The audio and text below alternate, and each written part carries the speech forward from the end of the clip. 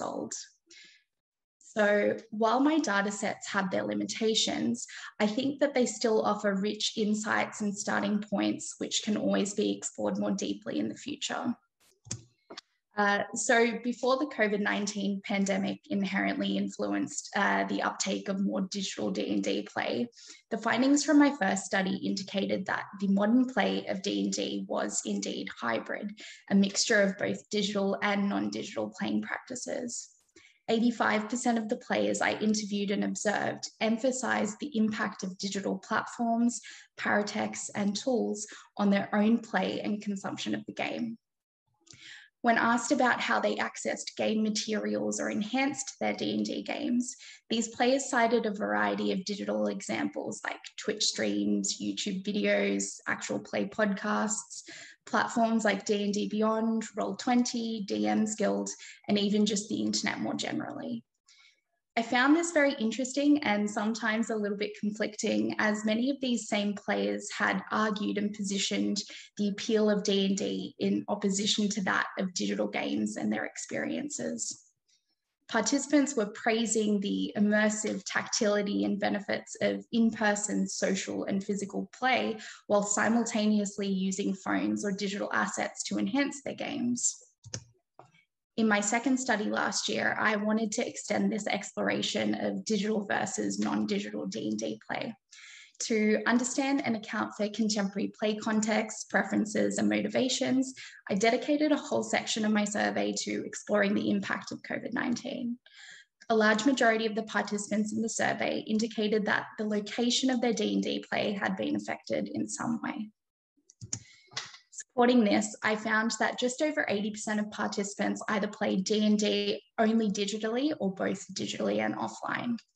With less than 20% of my sample size solely engaging with D&D as a traditional in-person tabletop role-playing game, the combined data from both of my studies reflects an instance of what Henry Jenkins calls convergence culture. So convergence culture is described as the flow of content across multiple media platforms. Jenkins reflected on the relationship between concepts such as participatory culture, collective intelligence, transmedia storytelling, and even collaborative authorship to explain how consumers and fans were now active agents in the media that they consumed and created. I think that these concepts absolutely capture what it means to be a contemporary D&D player and part of the wider D&D community today. In comparison to the sometimes passive nature of digital games, D&D players have the ability to be actively involved in the D&D campaigns they participate in, consume, and sometimes even create for the broader community. Through this lens of convergence culture, we gain a better sense of why the increased digitization of D&D, both inside the game and beyond the game, have been key contributors to the game's modern resurgence and appeal. So as mentioned previously, participants in both of my studies highlighted examples of digitization in their own D&D play. Most notably, responses drew attention to the impact of greater access to game materials as well as the positive and negative implications of digital tools and assets on the overall experience of D&D. As new media and technology uh, continues to shape contemporary gaming cultures and environments, responses across both of these studies suggested that the D&D community as a whole had made a considered effort to reduce the barriers of entry into the game, contributing to its wider resurgence. This was accomplished by offering more digitally and financially accessible alternatives to in-game rules and materials. One of the participants in my first study, a long-time D&D player and DM, stated that because of new media platforms like D&D Beyond and DM's Guild, in combination with the freely available systems reference document, there was more access to all kinds of cool D&D stuff that used to be a lot of hard work or money to get. It's easier to get into the game now than ever before. Another participant from my second study also explained that D&D was being swept up in this greater cultural trend of things becoming more accessible digitally. The visible and invisible role of fan labor and content creators was also highlighted and leans into previous work published by Aaron Trammell on analog games and the digital economy. In addition to greater access options, digital platforms and tools were also used to enhance in-game play experiences. In my first study, players involved in an in-person game were observed using digital dice rollers, tracking digital character sheets, and even using sound ambience apps such as Syrinscape to support their play. Other in-person groups were also seen using digital technology to provide visual representations of in-game characters and environments as opposed to physically created ones. The ability to recruit players and play D&D online through platforms like Roll20, Tabletop Simulator, and even Discord or Zoom was repeatedly mentioned by uh, in survey responses as a major reason behind the increased or continued play of D&D during periods of lockdown last year. For players that are unable to play D&D in person for various reasons, these digital alternatives allow them to keep engaging with the game that they love playing. With more modern research like Melissa Rogerson's interested in how digital tools like AI can be used to enhance experiences with the game, it's possible that the future of D&D may become more digitized than ever before. In contrast to these positive implications, there was also a solid counterargument presented against the increased digitization. In both studies, uh, participants noted that the physical sociality and limited screen time often associated with in-person D&D play was a key part of the game's modern appeal for them. Participants made it clear that what they loved about D&D was the immediacy of it in their body, Limited screens and minimal parameters on play allowed some players to feel more immersed and engaged during gameplay sessions. This sentiment was also echoed by others who said that there was something really simple and appealing about not being in front of a screen, just having a pen, paper, and your imagination run wild.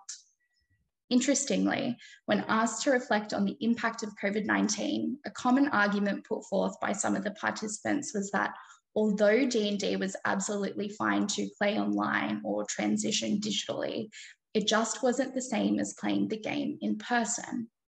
However, as we all know, different players have different expectations of the game space and motivations behind their play of D&D. So I think it'd be really interesting to explore this notion a little bit further in the future. Uh, it's also really important to consider that online or digital play is not always viable for all players for a variety of different reasons. In its traditional tabletop role-playing game form, D&D can often be perceived as an accessible digital game alternative.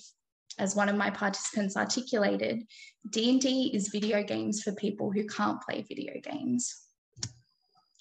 Along with in-game digitization, representations of D&D play in digital media have also contributed to the game's broader resurgence in popularity and play. In particular, the actual play live stream Critical Role was repeatedly mentioned by participants across both studies. Critical Role and other successful D&D media like it reveal successful convergence culture in action and the impact that this has had on driving increased interest towards the game. The show presents old media, a home D&D game, through new interactive media like Twitch and YouTube. And the popularity of this stream and initial convergence has resulted in positive fan cultures and collective intelligence surrounding D&D content. Subsequently, this has led to dedicated transmedia storytelling, which inherently appeals to different demographics of potential players. In 2019, Critical Role raised 11.3 million US dollars from their fan base on Kickstarter to create an animated show reimagining adventures from their live stream. This show was co-opted by the mass media conglomerate Amazon, which will undoubtedly draw even more interest towards D&D. More recently, collaborative authorship has allowed Critical Role to release an in-canon campaign setting published by Wizards of the Coast themselves. Convergence culture has allowed consumers of D&D to now become producers of D&D on a level unmatched previously. The show's progression from a home campaign to live broadcast to mass media partnered animated series to in-canon campaign guide exemplifies the impact that convergence culture has had on D&D's modern resurgence. It also highlights the relationship and link between both digital and non-digital D&D practices. I think it echoes the sentiment of one participant stating that D&D was really well suited to the way that media was moving. Uh, so just to briefly conclude and summarize my main points, uh, although there are many factors that have probably contributed to D&D's modern resurgence and popularity, I believe that the game's ability to be either fully or partially digitized and provide hybrid play experiences has allowed the game to reach a wider audience and continue flourishing in today's predominantly digital games landscape. Moving forward, when thinking about or discussing the contemporary play or plays of D&D, it'll be really important for both scholars and media commentators to be able to situate, contextualize, or even just understand the wider influence that convergence culture and digitization have had on the design, play, and legacy of the game. Uh, thank you so much for listening.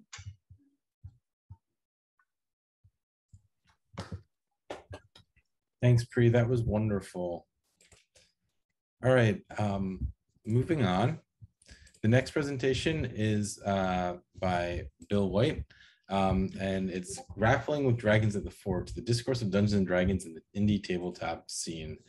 Um, and uh, the very cool thing about Bill White is that he um, went to the same doctoral program that I did uh, about 10 years or 20 years before I did. So I've always uh, thought that was like super cool. And I'm like, what are the chances that I wrote my diss on Dungeons and Dragons?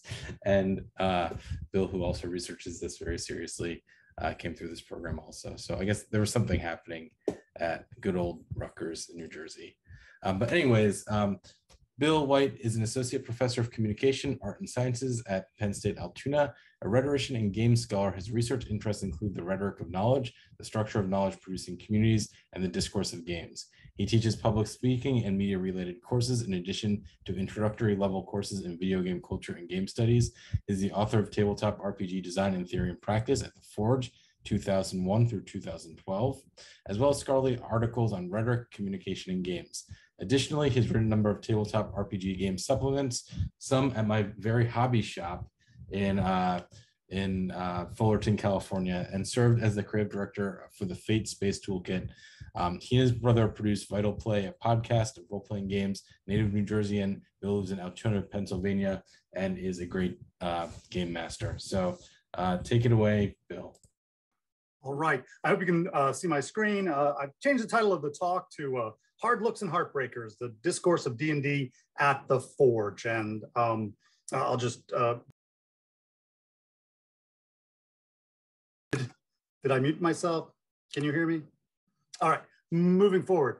The, um, the, the, I guess the first place to start is with what was the Forge, and uh, Pri talked about participatory culture, and uh, I think the Forge is an, an, example of that. It was a discussion site, but as I've tried to show with these uh, photographs, it was also intensely interested in production, producing, uh, designing, um, uh, selling uh, tabletop role-playing games that weren't Dungeons and Dragons, and, and that was a. Um, I think that sort of uh, sets up the, the, the problem that uh, I want to talk about, which is if uh, what does it mean uh, to exist in this space where Dungeons and Dragons is uh, central to um, uh, uh, the, the role-playing hobby and the role-playing industry, uh, and you're trying to do something different from that. And so thinking about thinking about the relationship between the Forge as a site of independent production and independent creation of role-playing games that are different from Dungeons and Dragons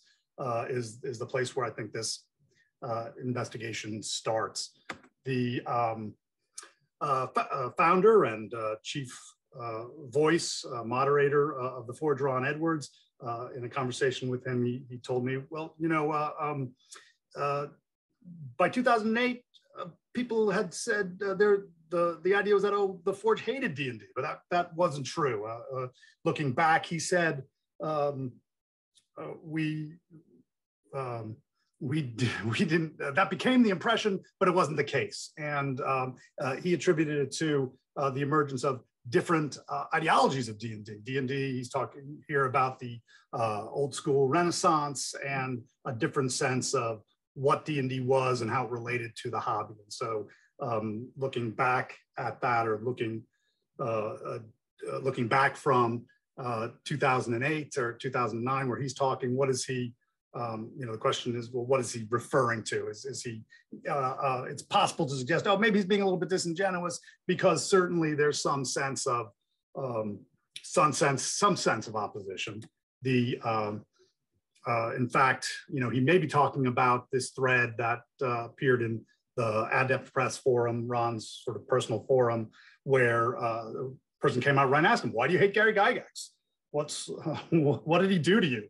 And uh, uh, Edwards is shocked. He says, "No, no, I've critiqued his ideas. Um, my focus is on uh, designing for play and owning, you know, creator ownership of, of work. And so how um, that's my critique of, of Gygax." Um, but it's not it's not personal by by any stretch of the uh, imagination.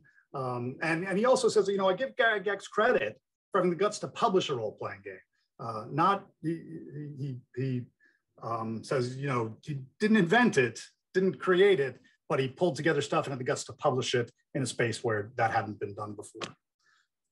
Uh, and so at about the same time, um, uh, you know, Edward's engagement with the uh, with the old school Renaissance um, amounted to, uh, I think, some uh, some people read uh, a piece that he published in um, an OSR zine called Fight On, where he uh, essentially hectored the old school Renaissance for being too tame, unwilling to um, adopt the, the original um, model of swords and sorcery fantasy that he um, uh, uh, cut his teeth on and that he found to be the inspiration for um, uh, Dungeons, the original role-playing scene.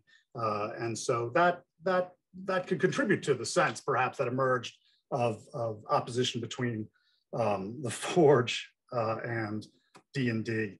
Uh, additionally, looking even further back, the idea of the fantasy heartbreaker, which is a term that uh, Edwards coined um, uh, back in 2003, where he looked at games that had been published in the 90s, independently published by um, uh, um, uh, designers modeling their games on D&D uh, and um, uh, having, having uh, a weakness that he attributed to uh, un, unreflexive, un, uncritical um, uh, adoption of um, D&D uh, motifs and tropes and mechanics without, without understanding or thinking about why they were there. Um, but additionally, I mean, there was very appreciative strain in uh, the, the, looking at these fantasy heartbreakers. They broke your heart because there was something, uh, as you said, uh, they're products of actual play. They people loved them, uh, or they were a product of love, uh, and they showed creativity, uh, even if some of their innovations weren't as innovative as the designers thought. but and and people at the Forge took up the notion of fantasy heartbreaker. Certainly, some of that take up was critical. Uh, why why don't um, why don't the creators of uh, these fantasy heartbreakers, these these uh, D and D um, essentially derivative works, uh, take more seriously the obligation to look at their assumptions. Um, but others recognized the fantasy heartbreaker as a model for how people engage with the hobby. Yes, I want to create something that's my own, modeled on D&D. Uh, and so they broke out and shared the things that they had created, even if they hadn't tried to publish them and um, mortgage their house to create them, uh, you know, to publish them. Uh, but they had they had written them, they'd worked on it, and they were glosses or variations on D and D. Uh, so the notion everyone should write a heartbreaker was something that um, uh, was a, a, prominent motif in how people talked about the um, uh, and engaging with D and D uh, in at least in the early days of the Forge. But all that is really kind of a prologue. Um, clearly, we, um, uh, one of the things I, I, like to point out, or, or that uh, I've realized, is that while there's a strong identification between uh, Ron Edwards and the Forge, there's um, uh, the the Forge and Ron Edwards were two different things. The, the Forge was the scene in which Edwards operated, certainly, um, but there are many other voices there. And so in order to make sense of uh, how people engaged with D&D at the Forge, thinking about, you know, reading the threads is a really important uh, element. I like to think of the Forge as a um, communication artifact, the residue of interactions and, and this participatory culture. Uh, and so in looking at um, in looking at the Forge, you're looking at threads, you're looking at posts made by individuals um, who are asking questions and sharing their experiences and they have things to say. And so, you know, here's an example of the kind of thing um, that people post, uh, people posted.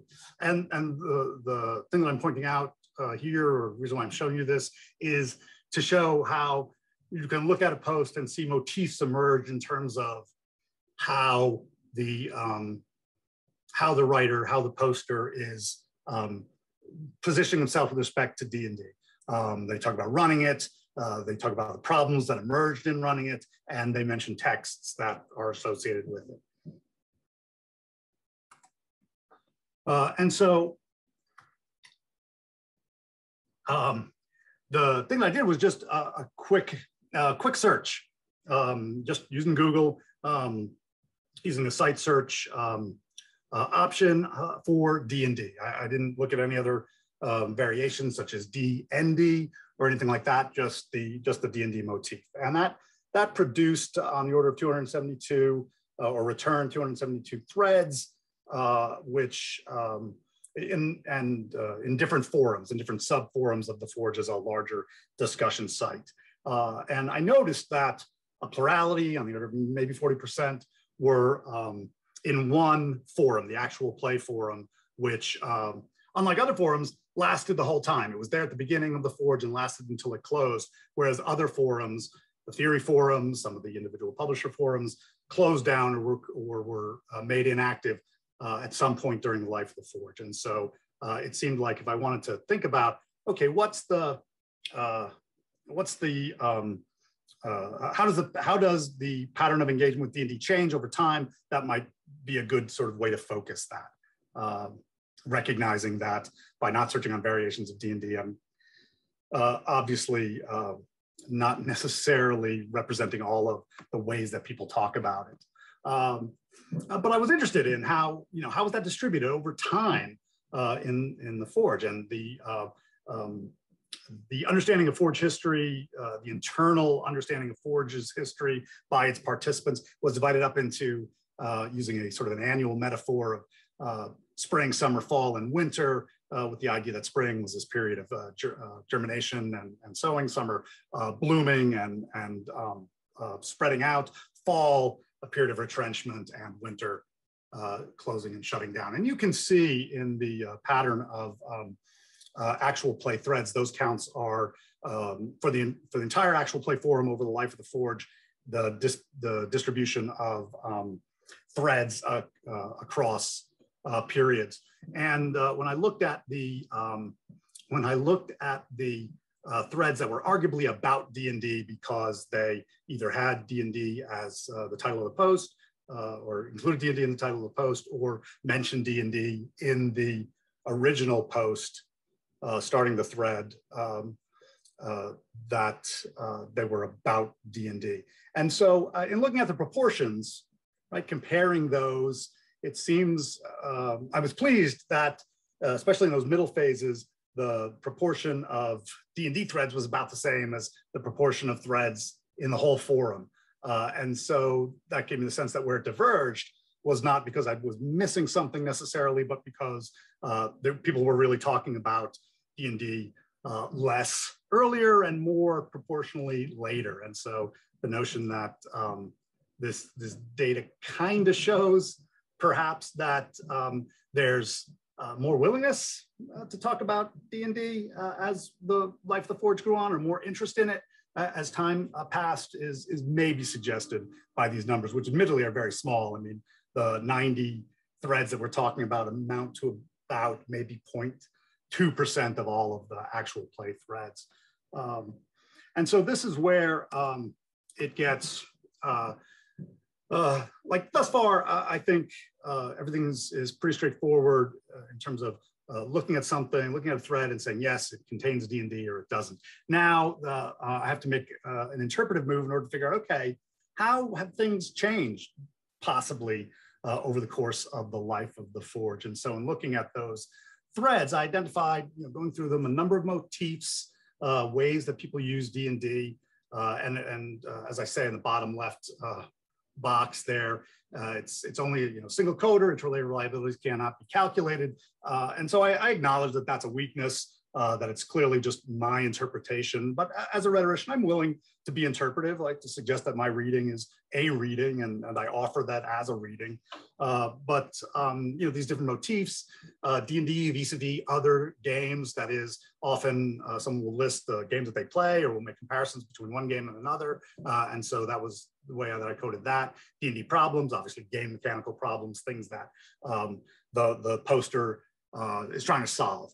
D&D tropes uh, may be positive uh, or appreciative or maybe negative and, and a little eye rolling, uh, but this is what we do when we play D&D. Old school is, of course, um, uh, just the use of that term, use of the phrase, old school. D&D as identity is when someone um, is uh, identified as a, a D&D GM or a D&D player, right? The notion that D&D is part of their identity. Uh, and that's different from D&D as a text. We saw an example where a, a book is mentioned or a version of the game uh, is, is mentioned. Uh, and then finally D&D as an activity, someone talking about playing, right? I, we were playing, this is what we played, oh, I wanna play with you, anything like that, sort of D&D as an activity. And the, um, uh, again, you know, there's, there's, um, I feel like the, the numbers are a little small to do any kind of uh, statistical analysis. Uh, I was hoping to calculate z-scores, but um, I, uh, uh, I'll just say I ran out of time. Um, the, but, but I think there's some in looking at the pattern, some numbers are suggested. I've tried to highlight where that um, uh, where that uh, appears. And uh, so if you look uh, down the column of the spring, you see, oh, gee, um, it looks like um, maybe D&D as text is less uh, a part of the um, a part of that conversation. It's um, uh, the um, the the the the uh, across seasons, it, it, seems to be um, uh, you know the average or the mean about 0.24. The um, uh, the uh, uh, within the seasons about 0.16. Um, Aaron just showed up on my screen, so I feel like that means I'm running low on time. So let me just skip to the end, which I believe will um, which follows directly on this um, on this slide. So I'll just skip over a look back at the um, engagement with the history of D&D and uh, try to just sort of relate, here's the story that I think this tells, um, particularly with an eye towards that distribution of, of. Just look at the structure of motifs. And as you can see in the early, uh, making sense of D&D as um, uh, mishmash procedures, but not a coherent design. Uh, the idea that heartbreakers, we're trying to get D&D out of our system. There's an interesting um, uh, transition between the fall uh, and, uh, correction, the, the, summer and the fall, where um, that fall, that intense period of experimentation with games, trying to get D&D players to play our games. In later phases, uh, we were playing D&D and trying to engage with it. And so that's the main takeaway is that um, uh, there's a change in D&D um, as other, D&D as part of what we're experiencing. Thanks very much for your time. I appreciate it. Um, look forward to any questions you may have. And thanks for the wonderful presentation, Bill. Um, and remember, uh, if you're in the audience, please do add questions for the Q&A um, while the presentation is going on. We love questions and we're gonna have plenty of time at the end of the panel uh, to discuss them. So the next, um, the next uh, paper is Playing the Believer, Prioritizing Dimensions of Religion in Dungeons and Dragons 5th edition. And this is uh, from Leonid Moyzhes, I hope I pronounced that correctly, um, at Russian uh, at the Russian State University of the Humanities. And Leonid is a religious scholar from Moscow, a game researcher, and a longtime tabletop RPG and board game player. His main focus of research is representation of religion in games, both digital and analog, especially different kinds of RPGs and strategies and his interest includes approaches to simulation of romantic and other types of emotional attachment through rules, and more broadly, relationships between modern pop cultural narratives and game design. He teaches a course on the history of tabletop games for the future game designers in the Institute of Business and Design at Moscow. His favorite RPG systems are the first edition of Sea and World of Darkness, especially Changeling the Dreaming, and he's discovered different games based on Powered by the Apocalypse engine, and has completely fallen in love with them. He likes uh, Legacy Life, Among the Ruins, and Monsterhearts, and has even designed his own mon- uh, playing Powered by the Apocalypse Act about aristocracy in early modern Europe. That sounds interesting. Uh, combining all of his different interests in scholarship and gaming. Uh, really excited to have you here, Leonid. Can't wait for your presentation. Give it to us, please. Thank you very much. If I knew you would be reading all of this out loud, I would keep it much shorter. Uh, I'm terribly sorry. Um, so anyway, uh, Zoom. Uh,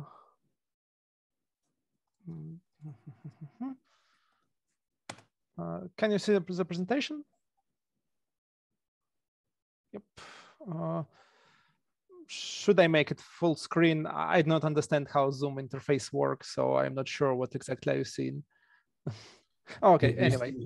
It looks anyway, good right now. But let, us do it like this. And that's even better. Okay. Um, hello, everyone. Thank you very much for this great opportunity. I hope you would be able to understand me through my thick Russian accent. And let's begin.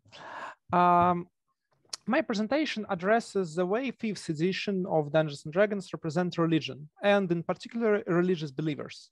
I will limit myself to the analysis of the rules present in character handbook uh, without mentioning materials uh, from other sources because of time constraints, but uh, uh most of things I will present now are um, can be applied to previous editions of Dungeons and Dragons uh, and uh, to uh, different uh, additional books.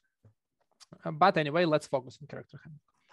Uh, in my work, I use uh, concept of resonance, uh, uh, and it's understanding by Adam Chapman in his book Digital Games as History, How Do Video Games Represent the Past and Offer Access to Historical Practice. Uh, you can see his definition. Uh, Chapman, by resonance, he meant the sensation of interpreting a representation of the game as relating to something other than only the game's rules, as referring to something not entirely contained within the the game itself and of the everyday world in which we live. Basically, resonance is a situation when we recognize part of the game as uh, related to something outside of the game. Uh, Apperley uh, Thomas Apperley uh, also introduces the term configurative resonance, uh, which involves the player deliberately configuring and or performing actions in the game out of all possible potential configurations and performances in order to create a specific resonance. Uh, I believe both of those ideas are very familiar for any tabletop RPG player. We use the resources provided by the game to create characters, plots, specific game situations that refers to something outside of the game. Uh, a favorite movie, a book uh, which inspired our next character, a political issue, a political situation, a joke, and so on and so on. Uh, the system here, both in terms of rules and in terms of fiction, uh, acts as a set of what Jonas Linderoth called affordances, a term he borrowed from ecological psychology of James Gibson. Uh, Gibson, in turn, describes the affordances as following. The affordances of their environment are what it offers the animal. Well, he was a psychologist, not a game designer. Uh, uh, the animal, what it provides or furnishes, either for good or for ill. And tabletop role-playing game system can be thought of as such an intellectual ecosystem, providing us with different affordances for actions, whether small, like describing a particular feat of our character, or more complex action, like creating and role-playing a character we always wanted to play So in this case, we can uh, conceptualize this as a single action, affordances for which uh, are provided by the game system. Uh, specifically, D&D does the latter through classes, backgrounds, archetypes, and races, which was described at length today, uh, and which are obviously refer to imagery from Western fantastical milieu thus offering player affordances to experience a configurative resonance inspired by the recognition. We basically, we read Tolkien, we may be able to play a Tolkien-esque character. Uh, and to my theme. Idea of resonance illuminates the fact that D&D constantly refers to uh, some ideas and images from the sphere of religion. Among the 12 main classes of 5th edition, four uh, paladins, clerics, monks, and druids clearly resonate with religious themes and tropes. Moreover, three more classes, ranger, warlock, and barbarian, offer affordances to frame them very easily in the religious context as well. Uh, and also the addition of mechanic of backgrounds in fifth editions edition uh, allowed to make any character associated with religion through the background acolyte. Uh, this abundance of religious elements in character creation is supported by a variety of other game elements that resonate with uh, either Christian tradition or some polytheistic tradition or uh, other elements from world uh, religions. Religious monsters like demons, obviously, for example, religious artifacts, religious spells, uh, popularity of different sort of cultists as an antagonists for players, so on and so forth. While I do not want in any way to justify the infamous satanic panic of the 80s, the very ideas and Dungeons and Dragons has something to do with religious, with religion, in fact, does not sound as crazy as it might seem at first. Of course, if we understand religion as a set of cultural artifacts and texts, not a spiritual practice. And I just, you know, love this comic uh, book, so I had to include this uh, uh, in my presentation. Fun times. Um, uh, all of this begs the question, but how exactly does the D&D portray religion? The short answer is however we want, since tabletop RPGs are ultimately limited only by our imagination. However, I believe that using the cycle of resonance affordances to create configurative resonance, experiencing configurative resonance, and then seeking affordances to experience another set, another configurative resonance. Through analyzing the cycle, it is possible to capture types of characters, scenes, and plots that are easiest to create in a specific game system, thus highlighting its ideology of representation a particular sphere, in this case, religion. To analyze the presentation of religion, I use Ninian Smart concept of religious dimension. I won't uh, bother you with context since uh, I'm a bit uh, running late on time. Uh, Smart's ideas were very anti-essentialistic he wanted to provide the set of dimensions which are present in any religion without creating any sort of hierarchy uh, between them. It's just a tool to conceptualize an empirical information about religion. We come to a religious community, we interview it, or we come uh, upon some religious text, we read them, and we can use those elements to conceptualize the religion. I believe the terms are pretty self-explanatory. Uh, I provided uh, um, uh, examples. So uh, let's just skip to the um, my main idea. Uh, I divided uh, religious dimensions in D&D in three categories in terms of how affordable they are core religious dimensions are those which cannot be ignored when you're playing an openly religious character like paladin or member of acolyte background you have to face those dimensions of religion.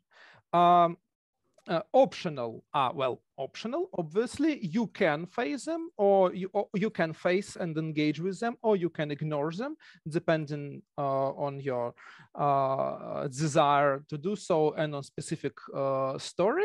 And hidden are somewhat forgotten. Uh, you have very little affordances provided by the game to engage with them. Uh, so uh, the obviously important core dimension is ethical and legal.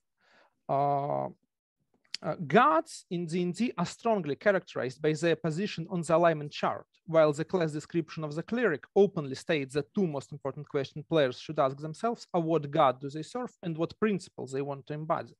In the same way, archetypes of clerics and paladins are differentiated through their ideals and values. Interesting consequences of this logic is the necessity to include some sort of coherent, if somewhat unattractive, ethic for so-called evil gods, like Lolth and Gruumsh, uh, and uh, the implication that problematic ethics of, for example, default drow society, as depicted in a character handbook, stems directly from Lolth's teaching. Basically adherence to laws as goddess is what makes drow evil. Second core dimension, uh, which serves as justification for ethical, is doctrinal dimension. Religions in D&D are based on the meta-religious doctrine of posthumous fate, which unites all different religions. Uh, when you die, you go to corresponding heaven or hell. On the other hand, the descriptions of some specific pantheons or spiritual traditions include hints and their particular doctrines, providing a metaphysical and philosophical justification for the ethical dimension, yet again. For example, indicating the superiority of a particular race or ecosystem. Optional categories includes, first of all, social dimension, uh, acolyte special ability and description of I, I, meant, I meant feature and description of different uh, classes uh, implies uh, different facets of social dimensions, like social structures built around temples, solidarity of believers as a community, social roles performed by priests, and so on. At the same time, all those elements exist as a periphery of game rules. They are not directly included in the economies of experience, gold, rest, and spells around which the typical uh, gameplay in D&D revolves. Uh, so uh, players can easily ignore them without, uh, for example, making their character weaker or ignoring a big part of their own abilities. The mythological dimension is in the similar situation. Character Handbook mentions deeds of different gods and also provides a description of so-called historical pantheons, which most of us know through myth. Well, since thank you, high school. Uh, uh, their very presence may inspire players to address the subject and dungeon masters to create their own mythologies or use the existing ones for their campaigns. But the game does not present any universal way or need to include the mythological dimension. No systems or uh, narrative recommendations for retelling or remembering religious narratives. So while it is hard to entirely forget that religion does contain its own narratives, it is equally easy to ignore those narratives in any particular game session, even while playing as a religious character. Um, the material, the material dimension of religion is somewhere in between the optional and the hidden, but closer to the latter. Rule-wise, religion in D&D is practically devoid of any material consideration. It lacks religious artifacts with obvious spiritual, with obvious spiritual value. There are no elements resonating with veneration of icons and sacred animals, no specific religious architecture, and the religious economy is reduced to general ability of temples and communities to provide for their own, implied in the description of acolyte background. Character Handbook offers two game elements resonating with material dimension, holy symbols and material components for divine spells. However, the obvious parallel between those and focuses and material components of wizards and sorcerers provide enough affordances to overlook them. Uh, tellingly, holy symbol in character handbook, in handbook is framed as a separate and discrete artifact with fixed value. It's not any material object matching the description of God's symbol. It's a specifically made specific object with a fixed price. Uh, basically, it is a tool, not a symbol per se. Uh, druid cannot take any stick in the wood to use as a druid focus. Ritual dimensions, paradoxically, belongs to a hidden category as well. On the one hand, most religious classes use magic, which can be framed as resonating with religious ritual, up to literal use of the terms ritual uh, in the description. But the ritual dimension uh, from historical religion, uh, religions as a separate set of elements is a part of religions constructed by the actions imbued with specifically religious meaning. You do something because your religion requires you to do precisely that. And in that sense, it is absent. Rituals, both divine spells and ceremonies performed by acolyte, are framed as something extraordinary and not necessary for religious characters themselves in the day-to-day religious life, unlike, for example, the need to follow religious ethic. Divine magic is performed in combat or in other tense situation, while the acolyte ritual reinforces different social changes. They are external, they are not needed for acolyte, uh, him or herself. The closest mechanic that resonates with image of ritual performed by believers as part of believers' spiritual life is the monk's meditation, but the necessity of it is still grounded in the economy of combats and rest. Therefore, it is not required outside of uh, problematic environment of adventure. Same logic applies to emotional dimensions. Dimension individual spells and abilities, uh, especially from Paladin class, resonate with pop cultural images, which are again in turn inspired by stories from religious texts, uh, which kind of touch on the emotional on the emotional dimension of religion. But the, the mechanics completely overshadow the emotion, the emotional dimension of religion by the ethical. Negative effects like fear or rage can be condemned by good gods and vice versa. But the system does not contain any affordances to simulate and play a desire for any emotional spiritual experience like religious ecstasy or feeling of divine presence. It can be, of course, role played by participants of the game if they are willing. But unlike in case of mythological and social dimensions, neither rules nor narrative descriptions offer a lot of hints at the importance of these elements of religion in general. And this prioritization shows a consistently Christian-centered and secular approach to the depiction of religious characters within the D&D rules. Religion is presented as something, first of all, naturally private, it is entirely possible to adhere to a religion without religious community, material artifacts and texts, rituals, or examples by some, some important historical or mythological figures. The only important thing for a believer is a success at doing or preventing some sort of practical change in the world, according to believers' uh, God's teaching. This in turn implies that any religion is at heart a philosophical system that boils down to describing the world, doctrinal dimension, and implying the best course of action in it, ethical dimension. But unlike true philosophical system, the initial ideas for it are created by powerful deities who are ready to punish followers for their disobedience, both in this life and in the next. This reinforces already popular essentialist approach to the depiction of religion and religious believers as people whose main difference from non-believers are their relegation of ethical decision to the outside source. And uh, the source, I'm 30 seconds, uh, source whose philosophy is immutable, close to interpretation, and can be easily grasped and presented in a very simple way. This approach is problematic, although admittedly somewhat natural uh, for a Western uh, religious thought.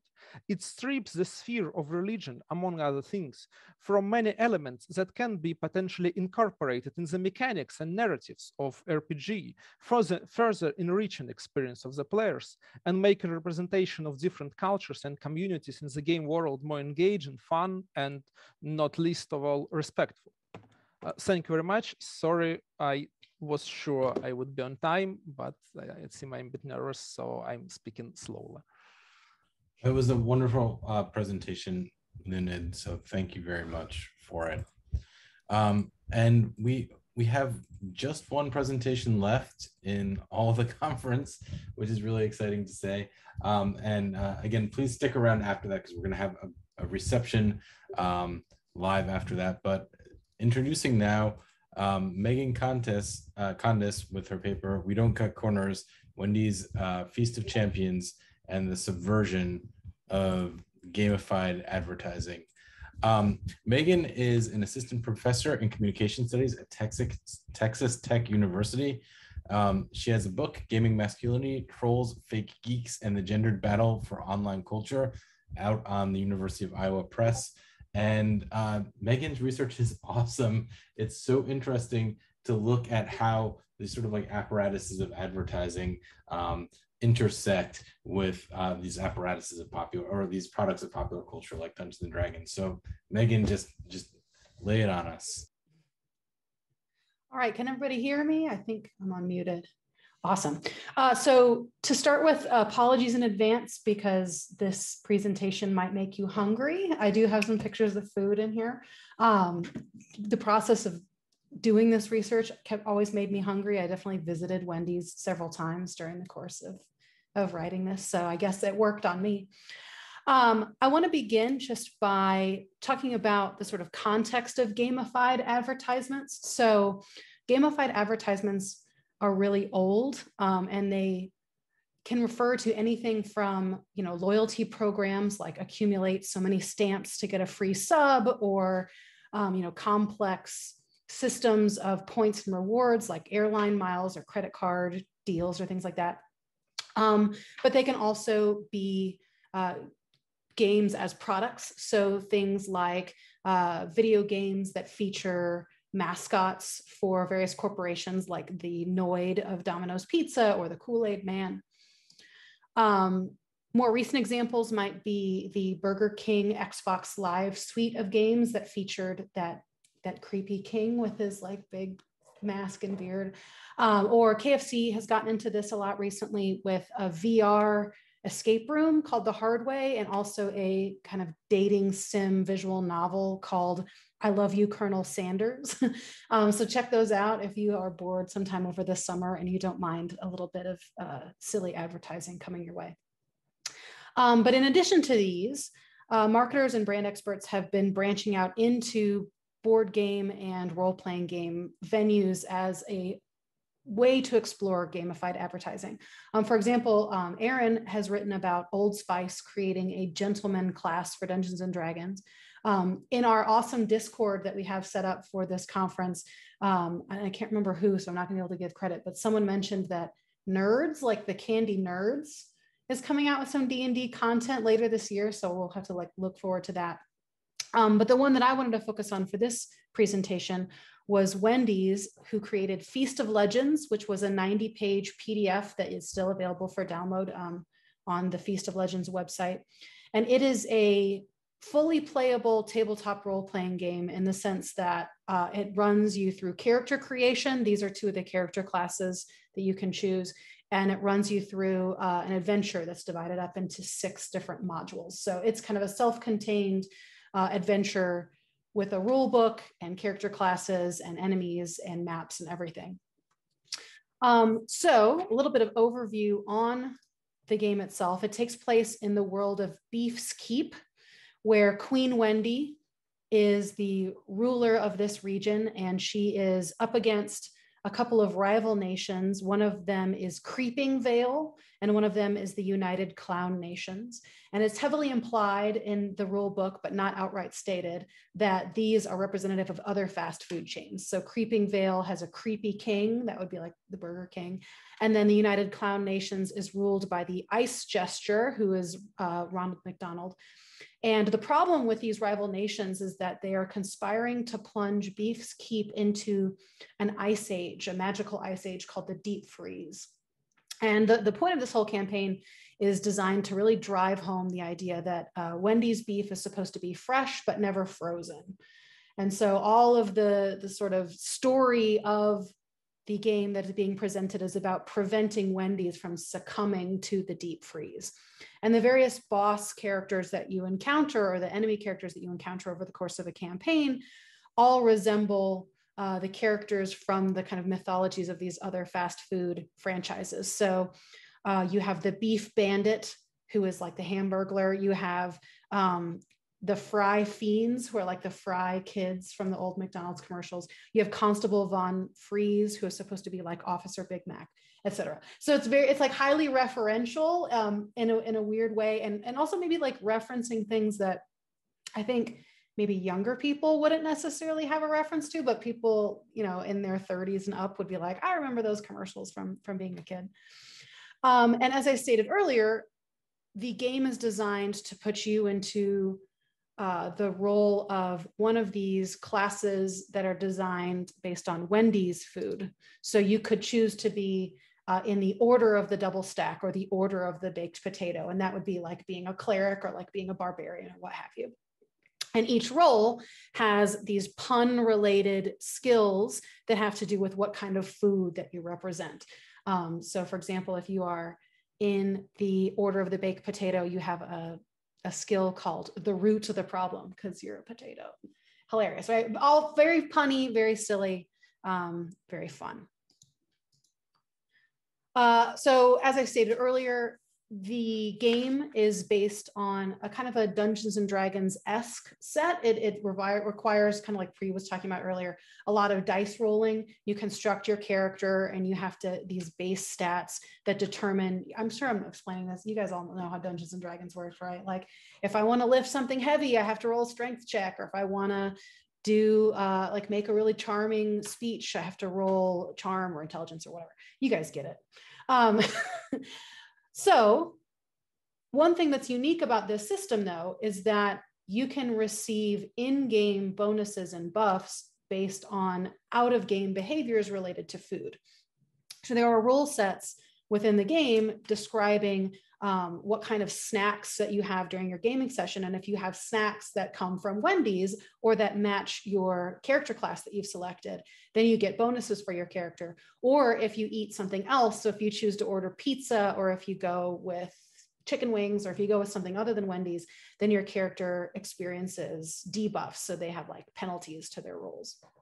And so at first glance, when reading through the rule set, as a person who's looking at like marketing communication, you go, okay, got it. So this is a demonstrative advertisement, which means uh, it's trying to demonstrate the effectiveness or the desirability of the product of the Wendy's food by demonstrating that it has these effects within the game that are positive. So, like eating hamburgers from Wendy's makes you stronger, right? So, oh, that means the advertisement's supposed to convince me that like eating this food will make me stronger. Um, also, narratively, the game connects Wendy's as a brand and Queen Wendy as a character with this idea of freshness by having her reject the deep freeze and having her kind of like coat of arms or, or her like royal decree be the Wendy's slogan, which is we do not cut corners.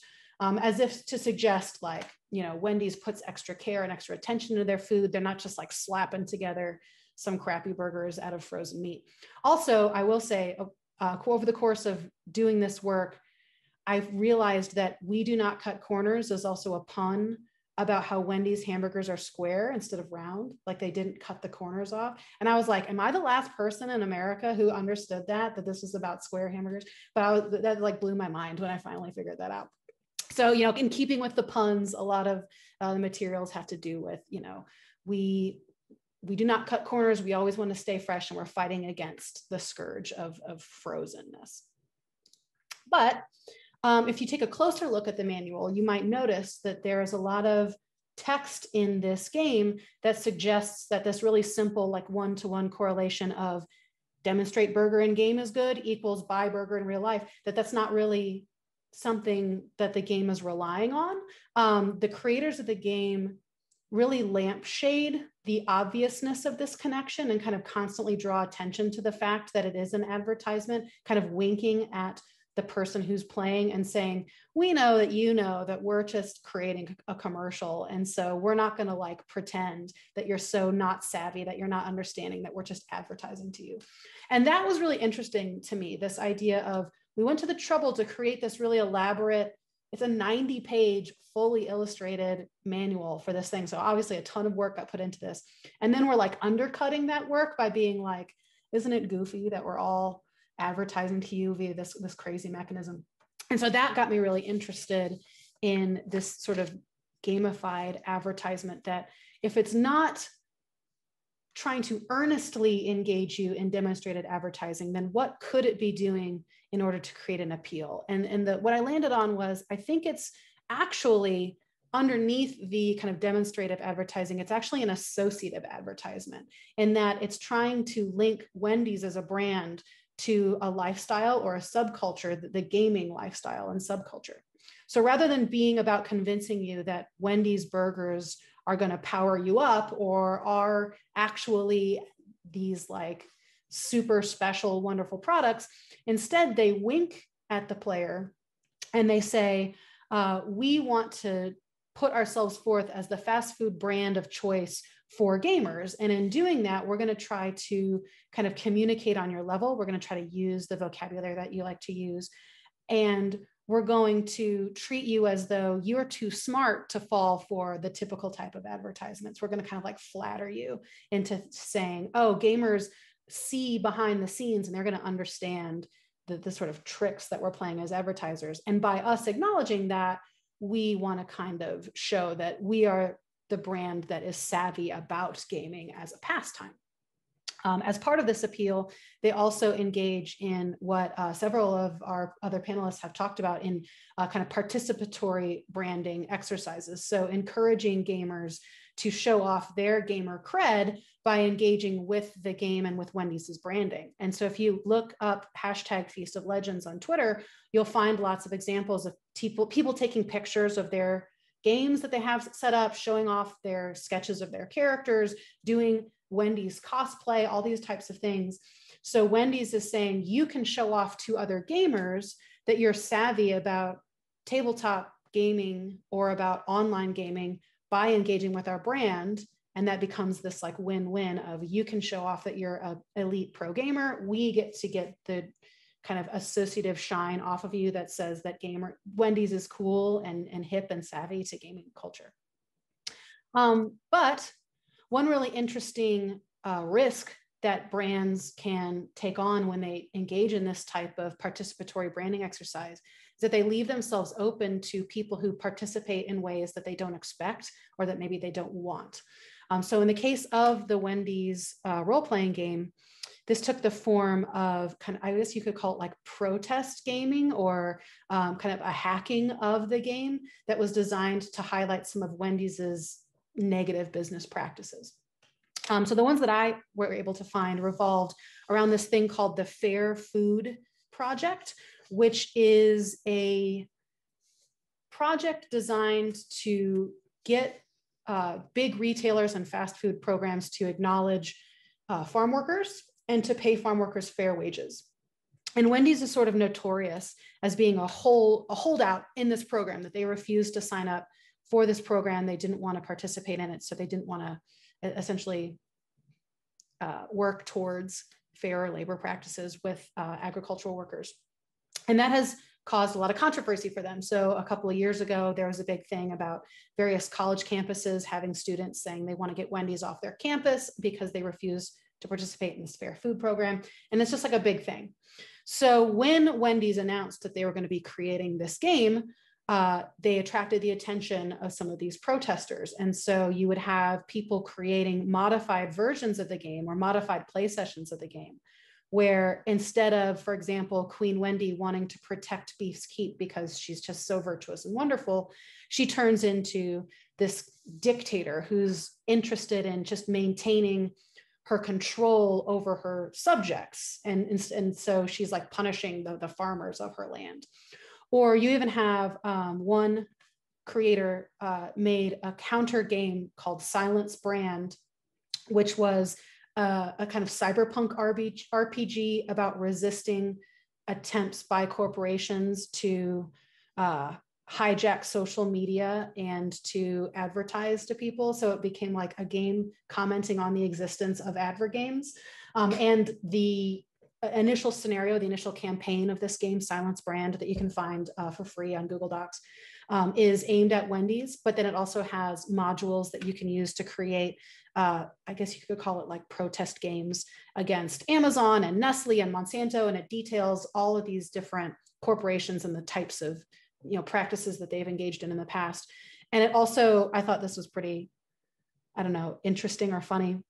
Um, so when this silence brand game got published, it contained at the very top of the game a link to the Boycott Wendy's website. And in the very bottom of the, the game document, it had a list of useful resources. And one of them was just a link to the digital archives of Karl Marx and Frederick Engels. So it's like very explicitly political. It's like not even trying to pretend that it's anything other than we're using this game as a vehicle to share our own kind of ideology and our own kind of political activist purposes. Um, and so in conclusion, what I think is really interesting about this game as a case study is that it shows kind of the power that games can have as vehicles for getting people to engage and vehicles for getting people to explore, um, you know, like branded worlds. Oops, that was my so let me just finish this sentence real quick. Um, so it shows the power of these games in the sense that we can look online and see the gaming community kind of engaging with it and participating in this uh, kind of branding exercise. but it also demonstrates how uh, kind of gamer culture maybe uh, this is referencing something that Pri talked about yeah I, I feel like gamer culture isn't super keen on being told how they must play and so you know the idea of presenting this game and kind of winking at the player and saying we are inviting you to help us spread our brand around but there's you know some people in gamer culture who are like no thank you. I would rather use this as an opportunity to get my own messages out about how i feel about this brand and to create associations with that brand that maybe the marketers didn't intend when they created this this game. Um, so you know if any of you guys are looking for a one shot and you want to play the wendy's rpg hit me up on the discord and, and i can run you through a session. Or perhaps maybe we'll just save it and we'll wait for the nerds rpg to come out later this year and we can all play together. Um, but thank you guys very much and i look forward to to chatting with you guys here in the end of our panel. This was a great panel. Um, so thank you, everybody. Um, I want to start actually with some of the questions that got answered on the Q and A, uh, and then I'll start working through the ones that are unanswered. So um, if you if you put your answer into text, uh, forgive me as I just ask you to kind of work through it again because I think it's important um, that we go through all of these for for the entire crew. As uh, you all know, there's a lot of different channels of discourse happening simultaneously, which is actually kind of joyous. It feels like a real life conference where there's side conversations and conversations in the hall. Um, but I do think that the Q&A channel is one that I want to dignify as much as possible here. So we'll start with Jack Murray's question to Pri. Um, in the analog digital hybridity panel yesterday, we had a discussion about pushing back on the perceived analog digital dichotomy. In your presentation, you identified a digital non-digital split. So I was wondering if you have any thoughts on the relationship between digital, non-digital, and the analog in what we're referring, we've been referring to as analog game studies. Yeah, so uh, I wasn't able to make the panel because it was just a little bit too early um, in Australia time. Um, but my initial thoughts uh, kind of split up into two different categories. So, like how we use those terms in like academia and how players are describing their play. So there was definitely a dichotomy in player experiences. So the the players I talk to, and this may be different to D and D players, you know, all around the world, um, but in my observations, there was always like a they they always pitted digital games and non-digital games against each other. So they would justify their d&d play by you know bringing video game experiences down like okay i'm playing d&d it's it's really cool because we're doing all of this in person not like those video games like world of warcraft where you can't do this and you can't do that so it was it was definitely like that dichotomy was present um, i think the terms though can be useful in academia because we have to be able to situate and contextualize our work clearly. And I think that those terms do help us in doing that. Uh, but at the same time, I'm sure, as is the case with you know all of us, it's really frustrating to be able to have to justify our work again, again, and again. So it's like, oh, like I'm doing game studies work oh, but it's on non digital games, it's on analog games, right? We're just talking about games. And yeah so i i have a little yeah conflicting and controversial thoughts but if anyone else has any thoughts i'd love to hear them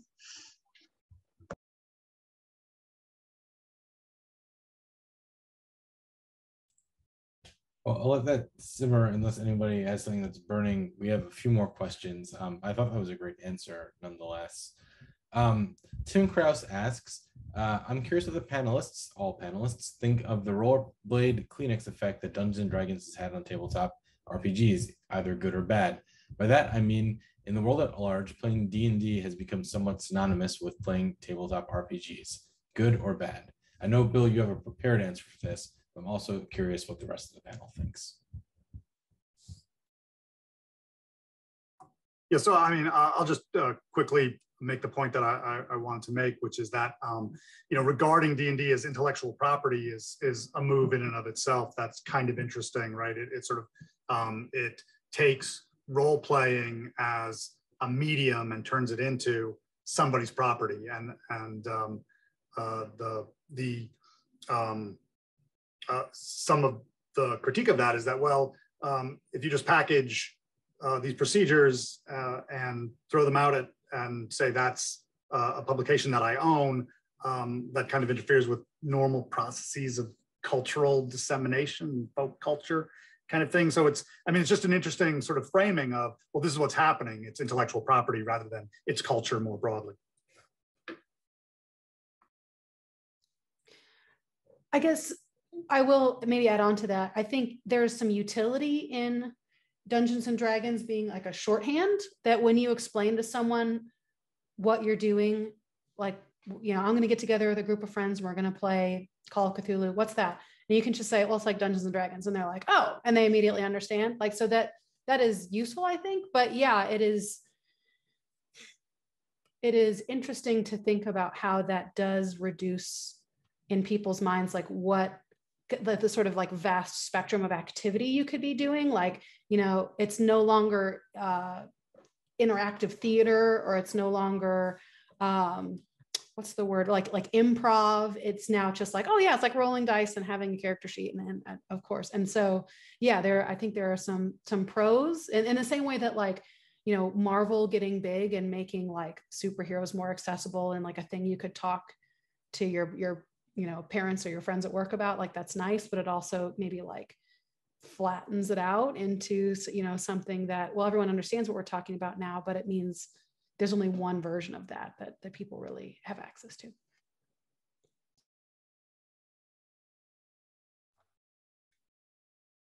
Uh, i can just very briefly add that uh, well uh, here in russia uh, I see the theoretical problem which uh, Megan presented, but since, uh, for example, we do not have improv here in any way, it is completely alien idea. Uh, uh, so the damage is theoretically massive, but in practice uh, minimal since, uh, uh, well, D&D is uh, introducing people to the very idea of role play as an activity. Uh, so we do not have any other reference to it, like at all.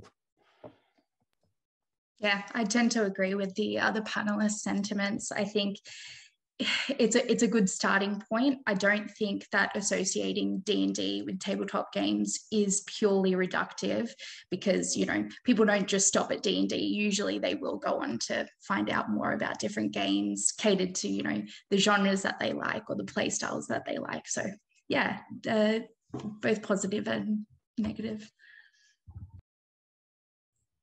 Great, great answers there.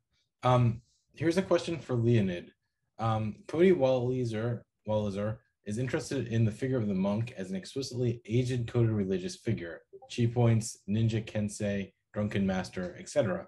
Are you aware of any work on Eastern religion and gaming? How do you see the monk in D&D?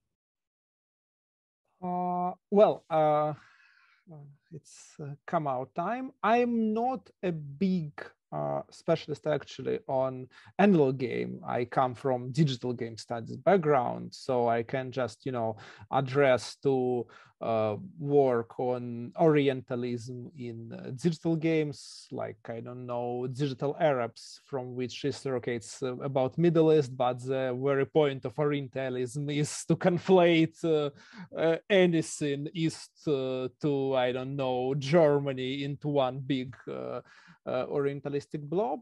And um, if uh, you're interested, I can ask around and send. You, if you give me your e email, I can ask around and send some particular work. Uh, I would be great.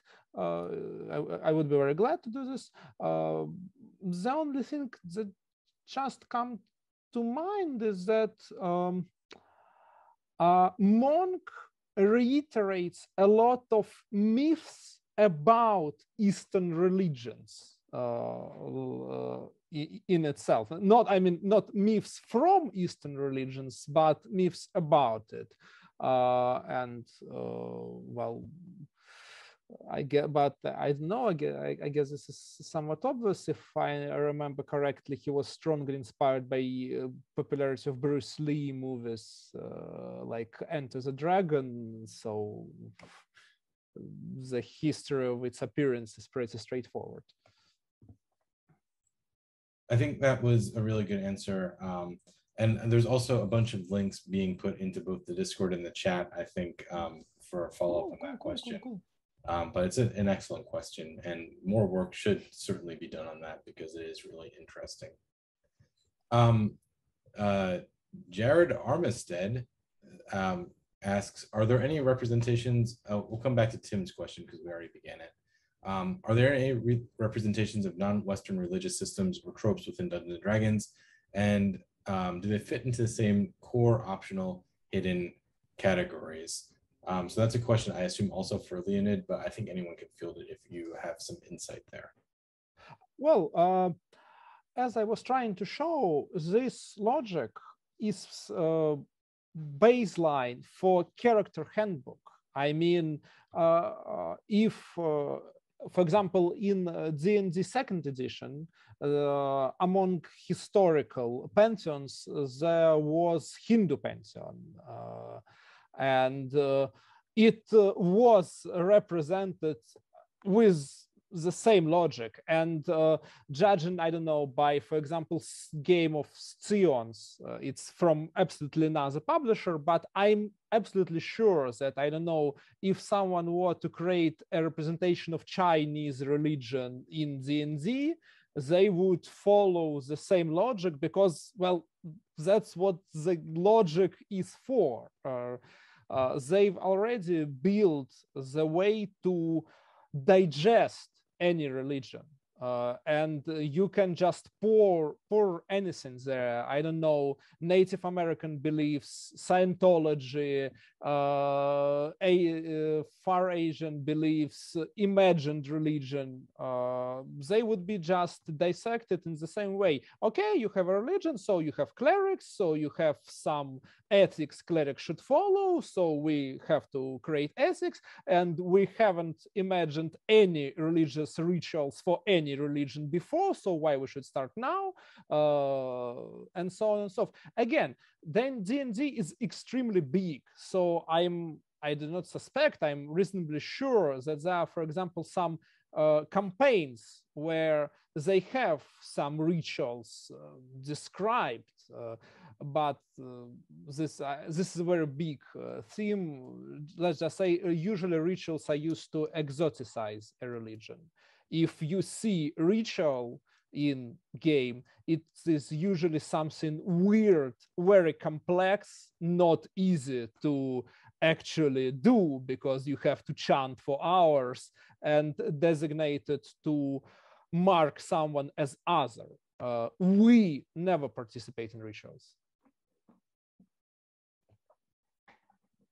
We have one more question from tim krause and then i have a question for the panel after that um, so from Tim, does the presence of advergames signify a sort of cultural coming of age for the tabletop RPG community in that it is the product of them being the true market uh, for large advertising budgets? Are there good byproducts of this? I love that question because I love the phrase coming of age uh, in that it suggests that like tabletop RPGs were child's play before and that now that they can become like a profit center that that means that they're all grown up. And i think i think I, there are probably a lot of people who would think of it that way. And i think what the resistance to wendy's game demonstrates is that people in the tabletop community are kind of eager to push back against that and to demonstrate that like these games are play but they've also always been serious and they've always been grown up uh, and so just you know transforming it into a into a market doesn't make it more legitimate or less legitimate. But but in in i that's i guess me trying to like really probably overthink the phrasing of the question. But like in, in the in the sense of like does it represent um like tabletop rpgs maybe kind of coming you know into like into popular enough understanding that they're like legible as a market or, or as an audience that perhaps like it, it, definitely means that someone thought it was worth paying writers and illustrators to, to create this thing.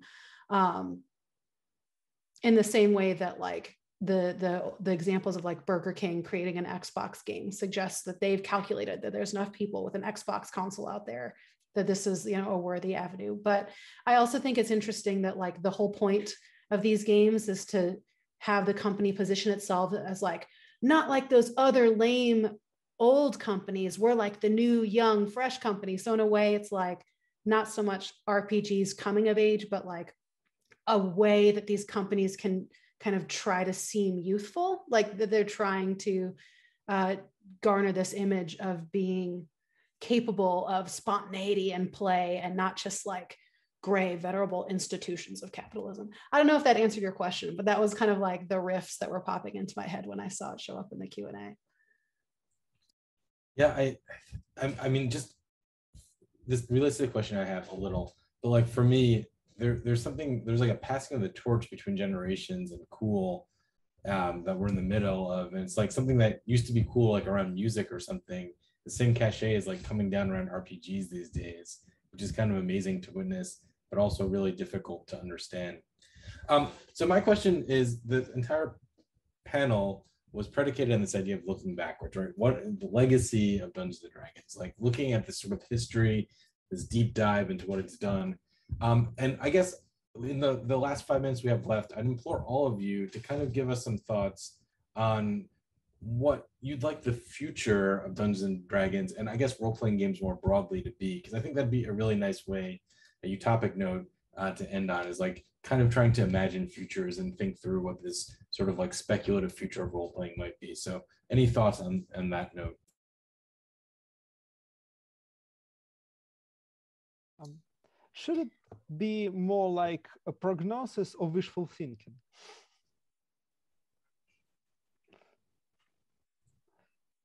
Can care to elaborate a little? I mean, uh, what I want the future to be, what I think it would be.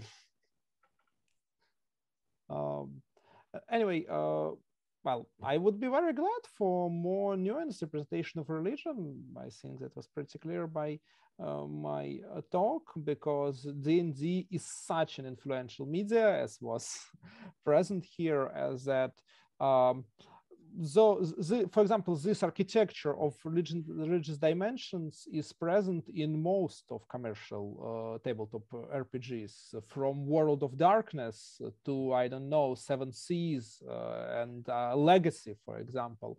Uh, in fact, the game where uh, there is no, there isn't any narrative uh, presented, but still the rules force to adapt uh, this architecture of uh, religious representation, which is very problematic. I didn't have a time to describe why, just, well, you have to trust me.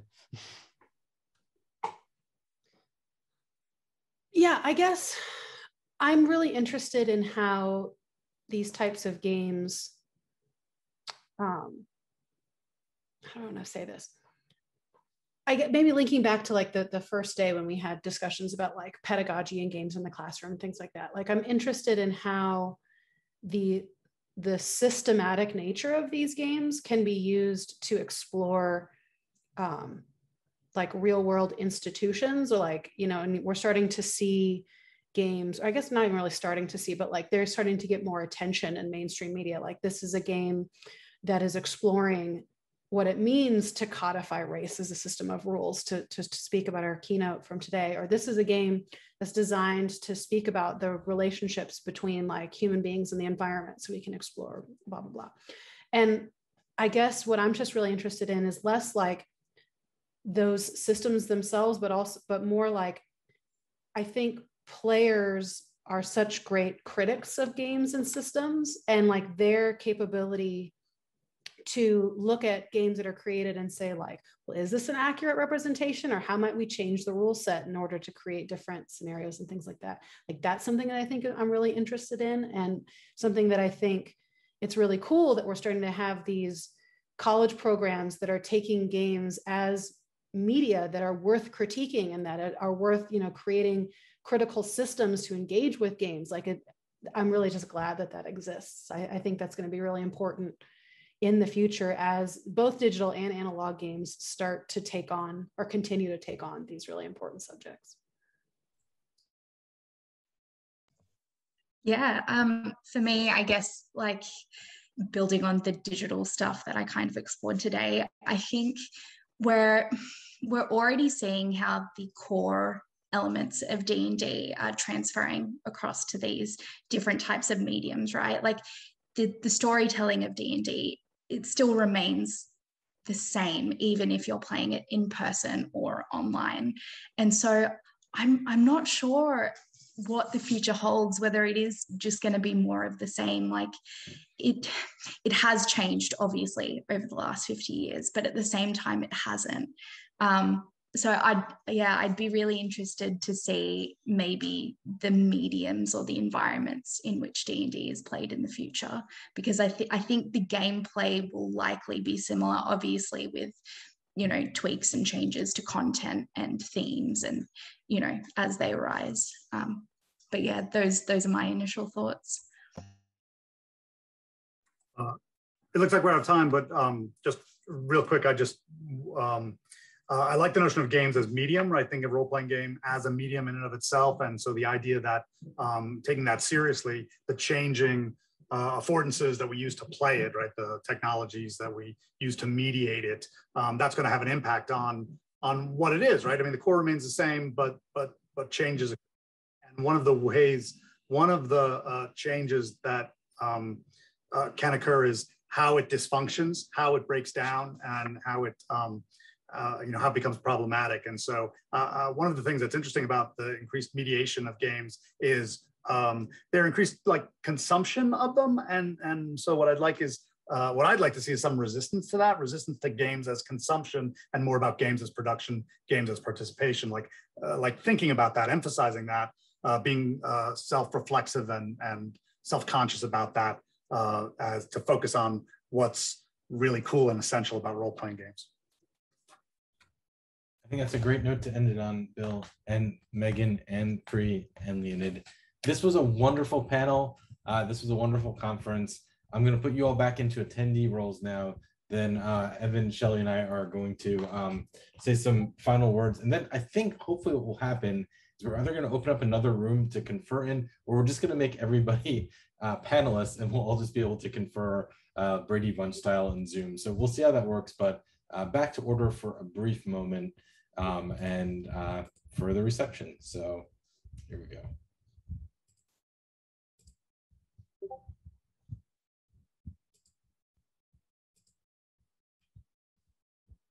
Trying to figure this zooming out. I feel like Zoom is tired at this point.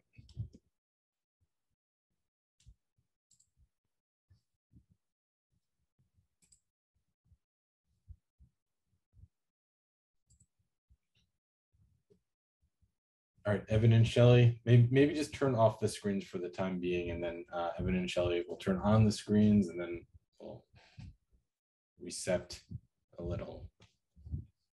Um, Evan and Shelly may also be away at the moment um, as uh, they figure out things. I think they're probably coming. Um, uh, one of the things that uh, we we really wanted to kind of uh, steer you all towards um, while we're awaiting other folks, uh, Evan and Shelly, to show up, is the um, incoming the the kind of it's one of the channels in the Discord upcoming projects. We just kind of wanted to make sure that everybody knows that's there.